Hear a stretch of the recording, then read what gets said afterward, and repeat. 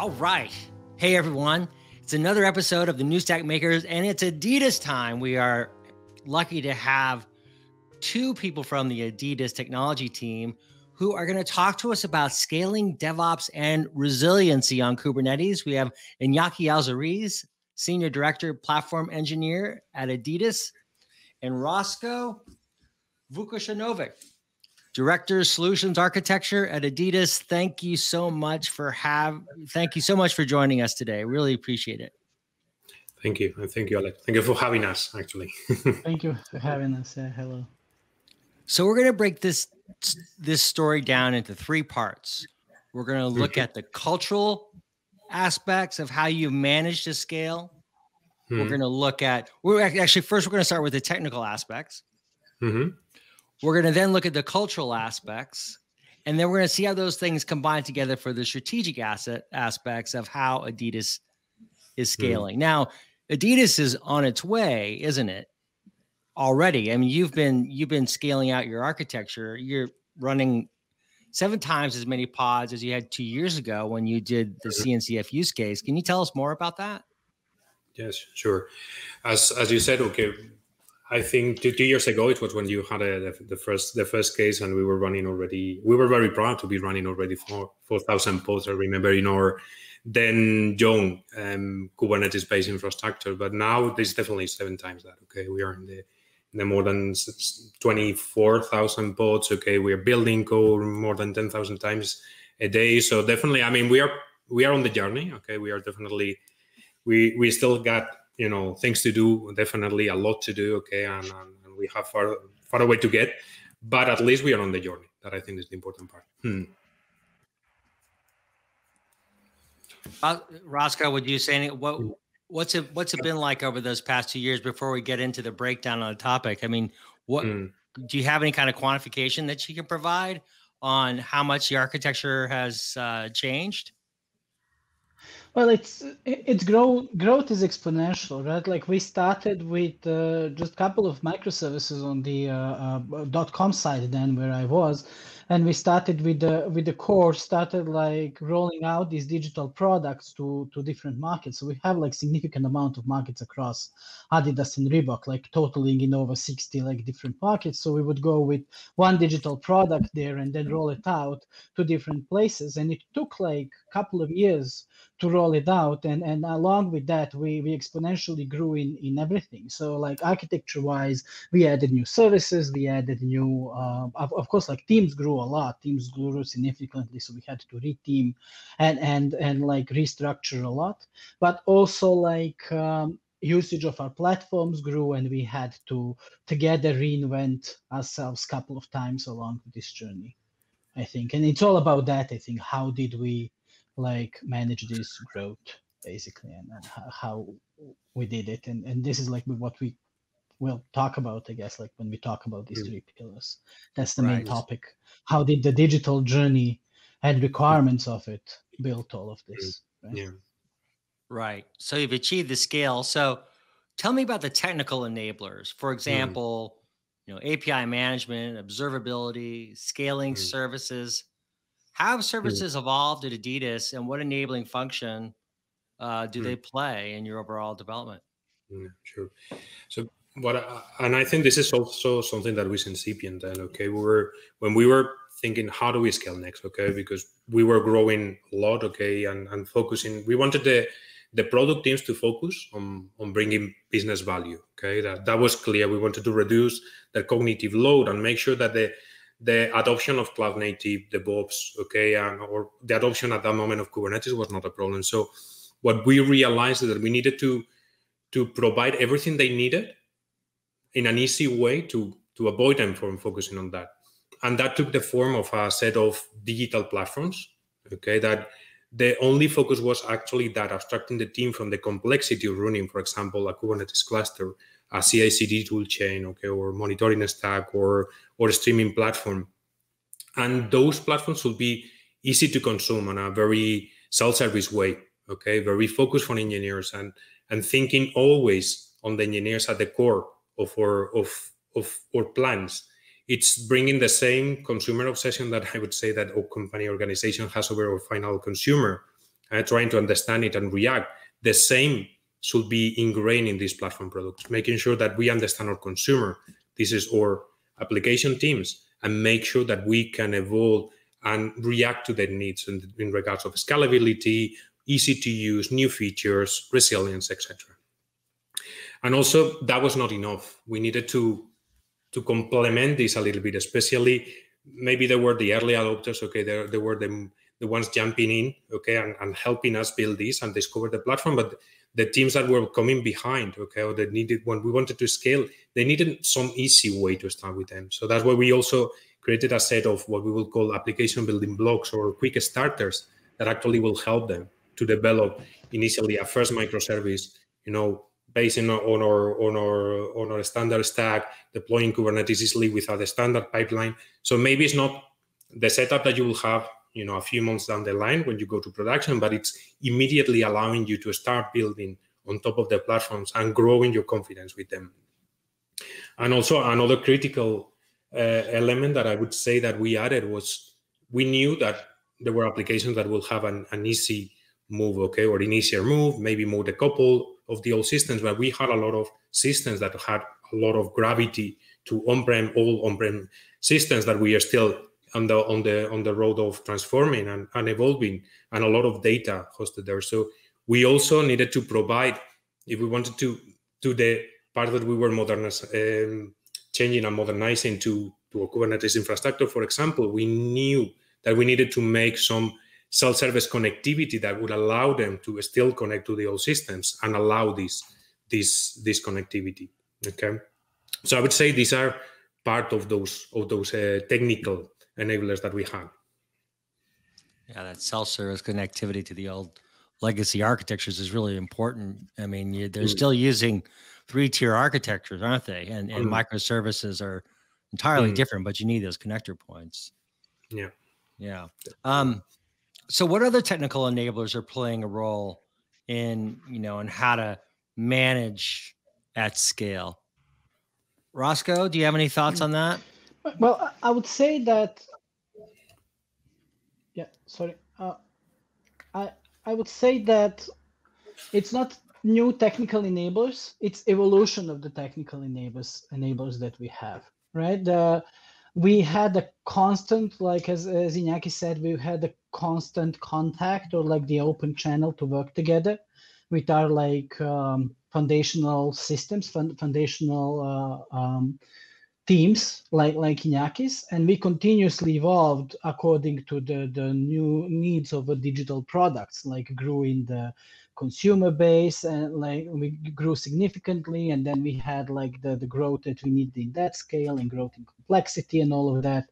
So we over time we we more or less replaced like uh, few significantly important platforms like the API gateway or the API platform, and then CI/CD internally, what we call Jenkins as a service, grew into something completely different and and like bigger than we have it.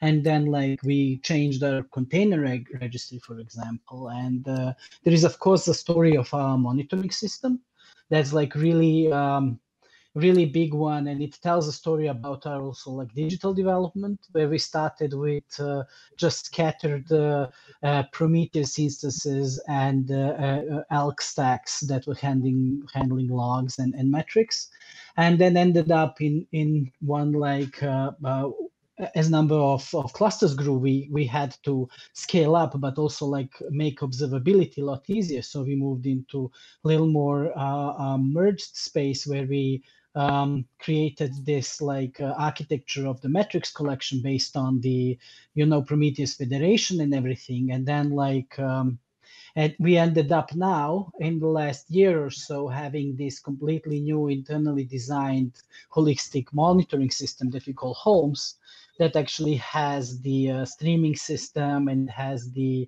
uh, top notch the the um, uh, retention um, mechanisms in it. So we can basically pair namespace and uh, uh, pair cluster or even pair application in different ways, tweak the, the retention of logs and metrics and weights collected and weight flows.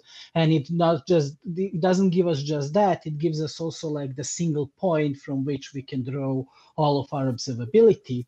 And we even started not just pushing technical metrics to it from like Kubernetes and all of our other technical systems, like in platforms, we also push the some of our business metrics there so we can have the one point where we can you know like query it and and create our you know like the the, the different visualizations or or different alerting systems and and things like that. So so basically this i, I think the evolution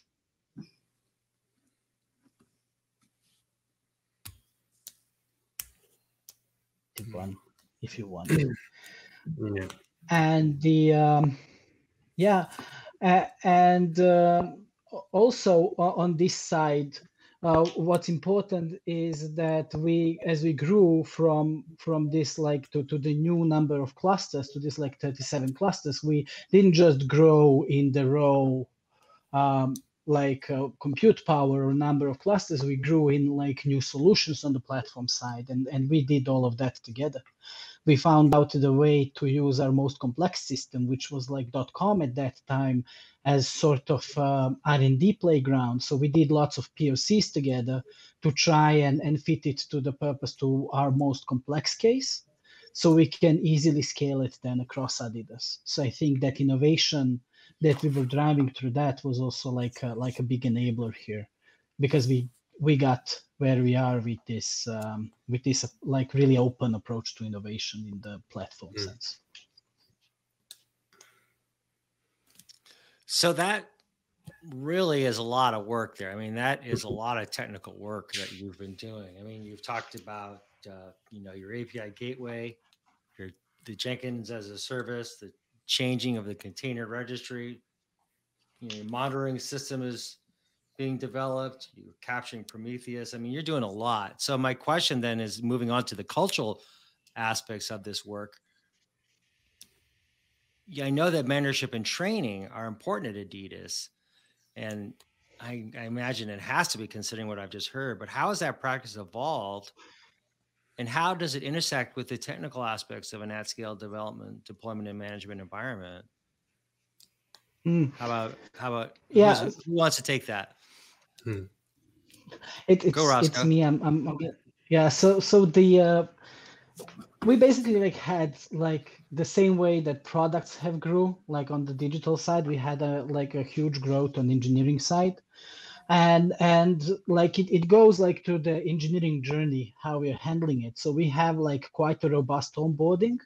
Basically we go into uh, we went first into having like really high quality multi-day onboardings on site in Saragossa, where our first big uh, technical hub was, where Iñaki is located as well and and there was like a week for people to spend time together and learn and have a multiple you know like presentations and introductions to adidas tech stacks and stuff as they are joining. Now we moved into more scalable way because of lots of people joining, but, but uh, of course because of the pandemic times as well, we have now Udemy courses and we have like also like multiple weeks of onboarding in the different ways, so people can also like feel how teams are breathing, create some uh, create some networking you know like as they start in the company understand you know who's who and what is what of the company. And then as they land we immediately start with these kind of training plans on observations and developing people and and thinking about like these individual development plans and going into the you know more higher quality mentorship and for like mentorship purposes we have these among other things of course there are like different kinds of uh, of it. And there's like also IT learning department that's helping with this. We have aspiring initiatives which are like aspiring architects and aspiring engineers initiatives that actually um, are um, mentoring initiatives that are pairing mentors and mentees with a certain goals of, of developing skill And then at the end, well, not at the end with uh, like working for Adidas, but as a final thing, we have this what's called the stair stepping, and it's like a, a, a good, good, well-structured plan towards like a good skill development, but also potential and performance evaluation for the reaching the next step in your career in Adidas. So we have like sort of the the whole kind of a, a cycle uh, uh, developed so people can continuously have feedback continuously develop from the, the minute they step into our teams and then get to that those next steps in their career so they can manage their careers in adidas as well. So how, how about the community? How do you engage them? How do you get them uh, behind this? Mm.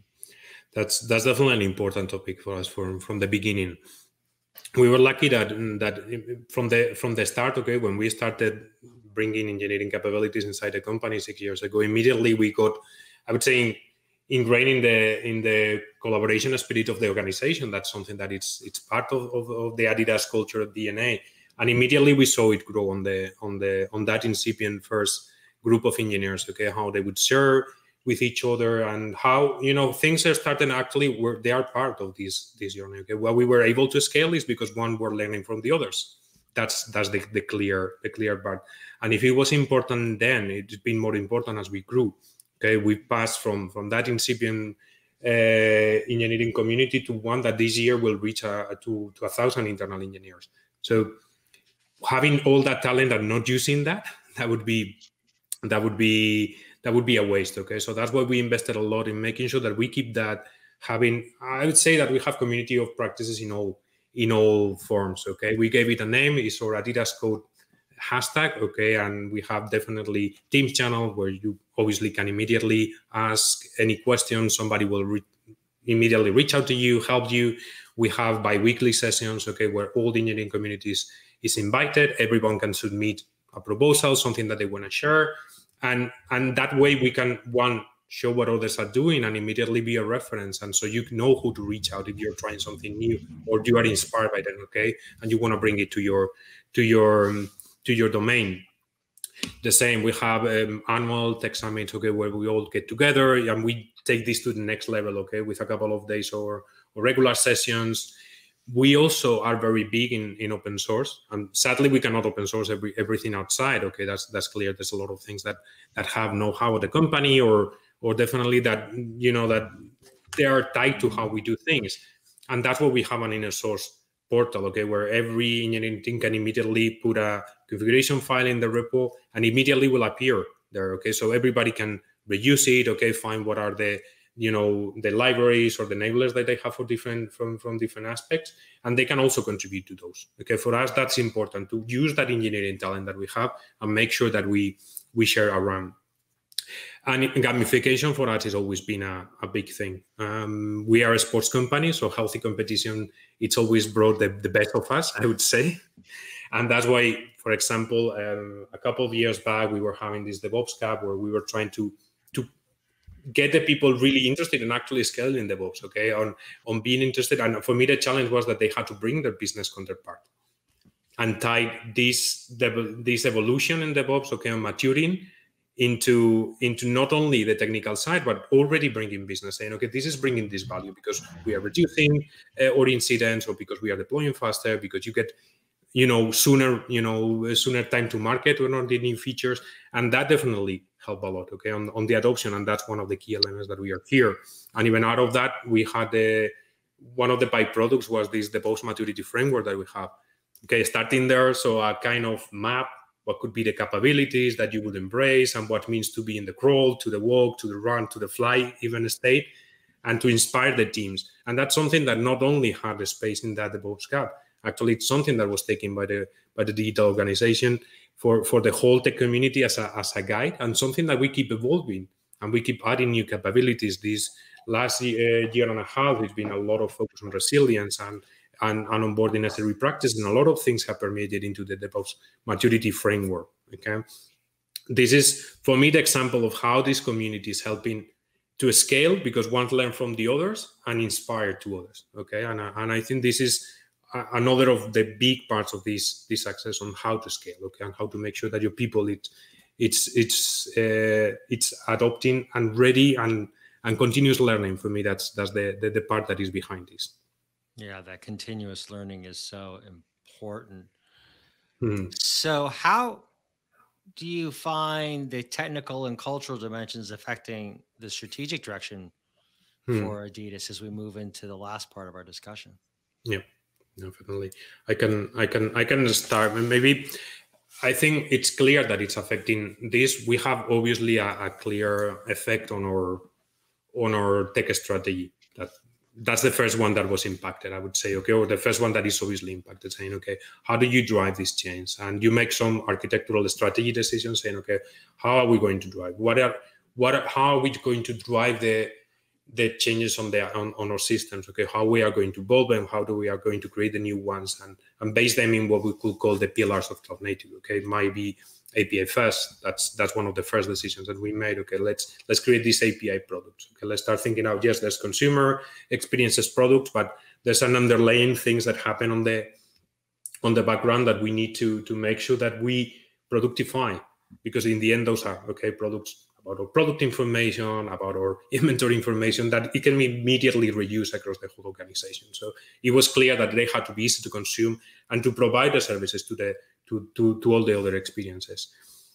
Very in line with the service-based architecture. Okay, definitely we all. I think um, microservices it's it's been here okay but also how you look at those systems okay and how do you start looking at your at your digital products the adoption of DevOps. That that was a technical. Uh, it's cultural at the same time, but obviously there's a, a, part of this technical. Okay, how do we adopt this? How we are going to make sure? How do we enable people to really adopt all those best practices that we knew that the that the key actors of the of the market. Okay, we could see that the DevOps uh, state report. Okay, where it actually shows how these capabilities or these practices are were doing you, were being adopted for those top performers, and we wanted to to make sure that we were there and for me one of the important was was that container first. Uh, everything should be containerized. One it was a uh, for me uh, as a developer was liberating okay to some extent to be able to provide environments on the fly for every single feature be finally able to to adopt all those maybe all the other pillars okay? Easy to create new new microservices okay? Deploy test and reproduce through the environment but for me it's also a very conscious decision on the on the technical side that is also giving you if not definitely um, let's say cloud vendor independence that's that i think is very difficult to achieve if possible but it's giving you enough flexibility and portability. Initially even from our on-prem infrastructure to the cloud because let's remember that we have the same platforms that we offer on, on our on our public cloud we also offer as a platform as a service on our on-prem. So that's the first step. And even in the if at some point you need to make a change that you want to drive and open new new providers you it's obviously it's not painless. You still have to to invest but it's doable. At least it simplifies the process of we can migrate and move to somewhere else if needed. Hmm?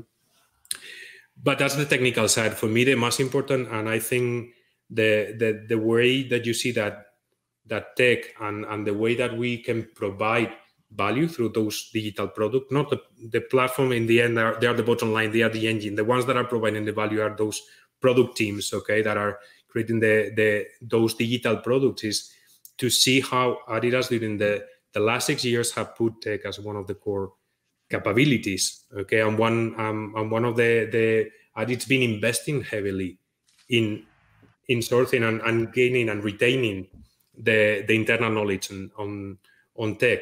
And I would say this growth is what is obviously um, put the strategy to grow this capability to put the push on integrating. I would say business and IT. That I would say that it's you can see it very clear how it's crystallized in the new global strategy, where actually digital is at the core of the company strategy. It's like the it's it's set as the strategic partner for business.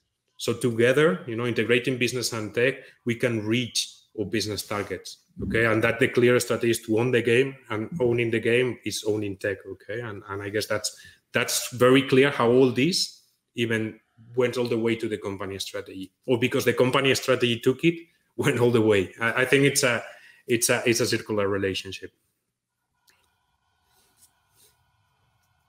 So maybe in a last question, you hmm. know, mm. we can talk about a little bit, uh, Rastko, about how does this all affect your cloud strategy? How does it affect how IT and business teams work together? What are some of the ways that you're seeing it?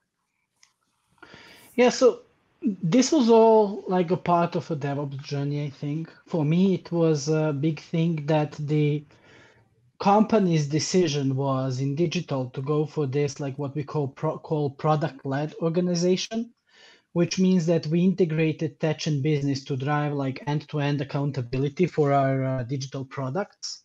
And this put the, the the tech and business together in this like product team and product leadership teams and and with that we we were you know pushed towards finding the common language and mostly like the devops and stability area talking about the talking about the stability and error budgets and like we introduced new SRE measurements that are important for us. For example, we measure the error budgets, but more important measurement for us is a revenue leak because you have like different ways and, and time downtime in your services or errors in your services do not always mean the same thing.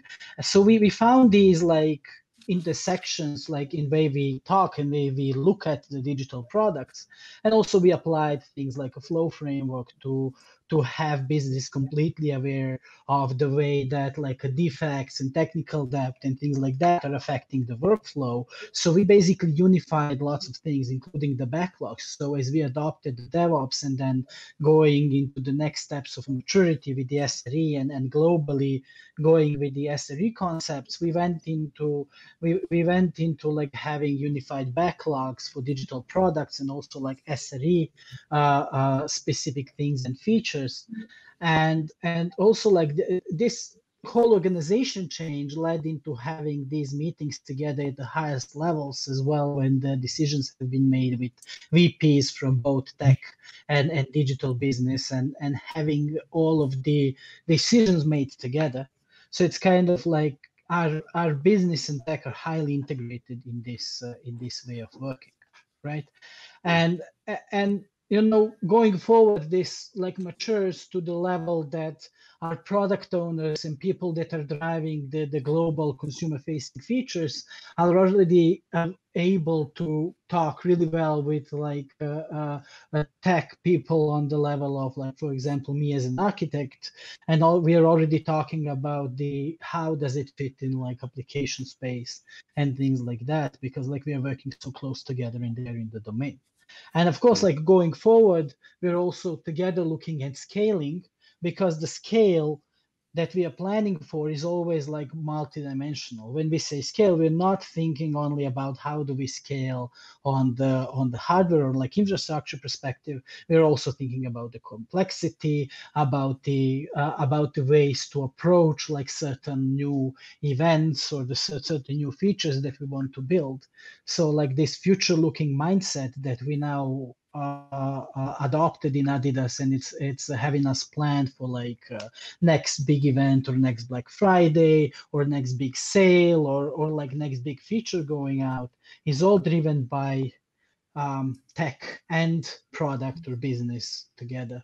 So this is like the, I think that one of the major things that came out of, of us maturing uh, as the organization. And i think that the our devops journey has a lot to do with it because we understood the um, how it's all how does it all fit together you know like a uh, basically software development life cycle and the product development how how they need to work together to to you know just push the digital forward and, and grow as a digital organization, not just as a tech organization or as the business organization, right? Mm-hmm. Excellent. This is a great way to to wrap things up. I want to thank you both uh, for your time. And Iñaki, thank you so much. Mm-hmm. Iñaki Alzorriz, Senior mm-hmm. Director mm-hmm. of Platform Engineering at Adidas. And Rastko, thank you so much, Rastko, Rastko Vukašinović. Thank you. Director of Solutions Architecture yes. at. Thanks so much.